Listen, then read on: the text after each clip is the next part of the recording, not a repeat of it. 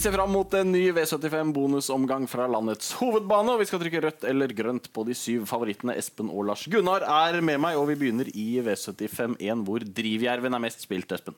Ja, og den er eh, veldig nære grønn for meg. Eh, står eh, fint til. Var god sist. Fikk en drøy innledning fra sporthold ble hengende eh, lenge før den kom seg fram til tet. Ble tatt ned til slutt eh, da av Vesle Moi.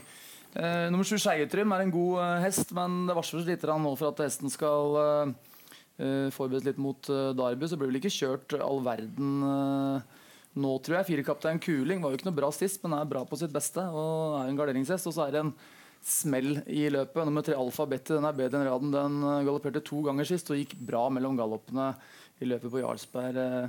Eh, 5. juli var også god gangen før, så det er også en garderingshest. Ja, jeg må si meg enig i det meste du har sagt her. En grei favoritt i fem Drivjerven. Fire kaptein Kuling vil jeg dekke opp med syv Skeietrym. Syns jeg var bra sist, og skal i hvert fall på min vogn. Ja, og Det er de samme tre hestene som jeg skal med på min kupong. Skeietrym har gjort tre gode løp etter at han eh, kom til Volden. og jeg tror at, eh, ja, Derby eller ikke, det er ikke så lenge til derby, så hesten må ha formen på plass. og De eh, kjører nok også for å vinne det løpet her, hvis det er muligheter for det. 4-5-7, det tror jeg er en lås som står. Ok. Videre til V75-2. Vi har en ganske stor favoritt per nå i nummer syv, Fløya Lars Gunnar. Ja, det har vi jo. Jeg syns uh, hun er for stor favoritt. Uh, møter bedre og bedre hester. En av dem som kan vinne, jeg skal ha med i hvert fall nummer seks, uh, Speakfox, som jeg nok tror galopperte bort en, en, seier sist. Formen er i hvert fall på plass. Det er en veldig bra hest som har vært først i mål mange ganger før. Kan også være det igjen nå. Ok, Jeg må også trykke rødt på favoritten Fløya. Hun har en, en klar vinnersjanse her, selvfølgelig, men mye spilt per nå. Fire Edens Odin må jeg ha med, har gjort uh, fine løp. Åtte Solstadstjernen syns jeg var veldig positiv sist til uh, annen, kun slått av Reimekongen. 25-5 ble tiden der, så den syns jeg er et spennende objekt. Lite spilt per nå. Ja, øh, det blir rødt. jeg kommer til å spille med seks Spikfox. Uh, galopperte bort seier i både nest sist og, og sist. og Husker det løpet hvor vant uh, i det var vel under klasseløpshelga i fjor, hvor den slo veldig gode hester. Uh, Bossumfaksen var vel med der, og andre bra hester. Uh, den er mest redd er den med fem silkespika. Hvis uh, hun skulle holde seg i trav, så kan den bli farlig. Men uh, seks spikfaks behandla etter løpet sist nå, jeg tror det er snakk om en vinner. Hvor mye bekymrer disse galoppene? Litt, selvfølgelig. Men du spiller Men, banker, er det det du ja, sier? Ja, jeg kommer til å gå for den, for den er lite spilt. Og ok, Sju fløy er bra, den, mm. men heldig seier sist Solva hadde vunnet hvis ikke den hadde galoppert. Ja. Ok, Spennende vurdering det, Espen. V75-3 det er et monterløp hvor fem Arnspik er knepen favoritt. Ja, og det er ikke noe å si på at Arnsbrik blir mye spilt. Jeg skal uh, doble med nummer syv Nesel, som er monté-spesialisten her. Har gått 15 monté-løp, vunnet fem og fem andreplasser. Bra statistikk der. Helene Kolle rir en hest som ifølge treneren er i form. 5-7, det tror jeg faktisk er ganske sikkert at du er gjennom på to hester. Ja, og det er det mange som mener. Som vi ser av ranken, så er det mye spill på disse per nå. De skal selvfølgelig på ni Gilborka, syns jeg var veldig positiv sist. Det ble gærent galopp, det ble feil på siste bortere. Hesten avsluttet veldig bra. Nesten ikke rørt i spillet per nå. Kommer til å, kommer til å få en strek av meg. Ja, For meg blir det én strek. Det blir 07 Nesselli. Kanonbra løp sist. Eh, fløy veldig bra i eh, et hardt lag da. Det var eh, Motyr som vant foran Nordsjøodin, Kuvenstorm og Hugo Beck. Og så kom Arnspik i mål Nei, mener Nesseldi i mål etter de, og går i underkant 24-fart siste 800 meterne som Lars Gunnar sier, fem seire på 15 monterløp. Arnspik er bra. Uh, Eller nummer to bak Magnus Otello sist. Ja, har ikke vunnet, uh, vunnet i monterløp uh, ennå. Har vel tre annen og en tredje på seks starter. Ok, Ny banker fra deg, Espen. Ja. ja. Du går billig ut. Hva med V75-4? Kan du gå tynt også her? 10 Mr. XF Royal favoritt. Jeg synes Det er et veldig vanskelig løp å regne på. Disse voltestartløpene nå om sommeren hvor eh, hvem som treffer, hvem som ikke treffer. Det er gode hester på strek her. Du har nummer tre SMK Smashing som jeg har ikke holdt helt inn da, i de løpene, men har gått gode løp. Du har nummer fire LJs Dreamcatcher som Ble nummer tre i løpet helt øverst eh, i raden. Jetvoice og Soros Kronos var foran da, var vel Unionstrave på Momarken. Eh, Galopperte på siste bortere sist og gikk bra etterpå. Noterte en uh, høy 14-tid da. Du har nummer to Seabreeze Aas, som ikke er noe dårlig. Fem Hawken. Hawken står jo veldig bra inne, inne i laget, den også.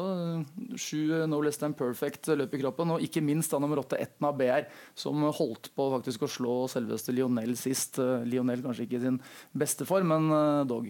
Fossens bonus først i, i mål i det løpet. Og her tror jeg faktisk at jeg skal spille banker. 8-1 av BR, som du nevner, Espen. Strøket sist, men gangen før kun slått av Lionel og Fossens bonus, og var heller ikke langt uh, bak i mål. Jeg tror det blir en banker for meg. Oi. Ja, det er spennende. Eh, den skal nok med på min kupong òg, men en hest jeg i hvert fall skal ta med, det er nummer ni, Eva F. Boko, som har gått Hvis du bare ser de hestene den har gått mot de fem siste løpene.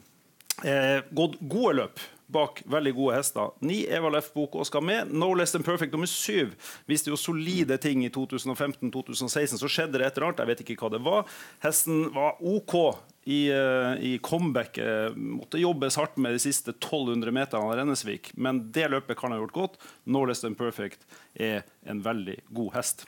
Ok, Rødt i hvert fall på favoritten. V75 5, ny klar favoritt her. 6 Eye of the Tiger, som det var fin stil på sist, Espen.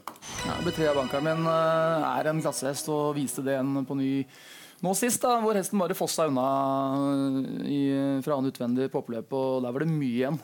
Møter noen gode her, men har ikke klassen til og med 6 Eye of the Tiger, tror jeg. Nei, det tror ikke jeg heller. Gjentar en eh, sånn i nærheten av den prestasjonen sist, så spør ikke lillebroren til uh, Born in the USA noen om seieren i det løpet her. Nei, jeg har ikke så veldig mye å legge til, egentlig. Eye of the Tiger strålende stil sist. Jeg tror han vinner igjen. Og i V75-6 så får vi en ny, ganske klar favoritt fra et dårlig spor, 12 Larry Joe. Ja, det blir min andre banker. Jeg tror den første er den beste, men jeg må ha to bankere i en V75-omgang. Larry Joe, spor 12, men så leser jeg jo i, i kommentarene her, det er jo ingen som har ambisjoner om å vinne det løpet her. Nei. Og da tenker jeg at Erik Hauton får en ganske lett jobb, har flere ting å velge på. Kjøre dem litt foran, ok, kan han sette bak. Kjøre dem ikke foran, det blir lavt tempo. Så tror jeg Larry Joe er tidlig å finne frem i døden, så kanskje blir sluppet til tet. Jeg tror han vinner løpet uansett. Ja, og jeg trykker også grønt, selv om jeg ikke føler meg helt sikker. Men som du sier, det er en ganske formløs gjeng han møter her, 12 eh, Larry Joe. Så til tross for det dårlige sporet, så tror jeg at eh, det er snakk om en bra vinnersjanse. Vært, eh, vært bra til seier i sine to siste. Og jeg vet at du trykker rødt, Espen, for du har sagt at du hadde tre bankere. Så her blir det ikke noe holdepunkt. Nei, ikke fra, fra spor 12. Det har vært bra da, for Golnes og, og gjort fine løp. Vunnet de to siste løpene, og det har vært fra der foran. Nå skal hesten gå rundt. Nummer ti Hold Me Quick holder jo kjempeform. da. Den kom jo uh, voldsomt via sporene. Gikk ut i tredje sport 1000 igjen uh, på Jarlsberg 4.7 og holdt bra, syns jeg, til, uh, til femte. Og så har jeg forkjærlighet for nummer ni Money som satt fast på Kongsvinger sist. og Skal kjøre Rygge igjen, siste, men der så det ut som Den galopperte første gangen ut, og så satt hesten fast med krefter. og Veit ikke riktig hvor god, god, den er.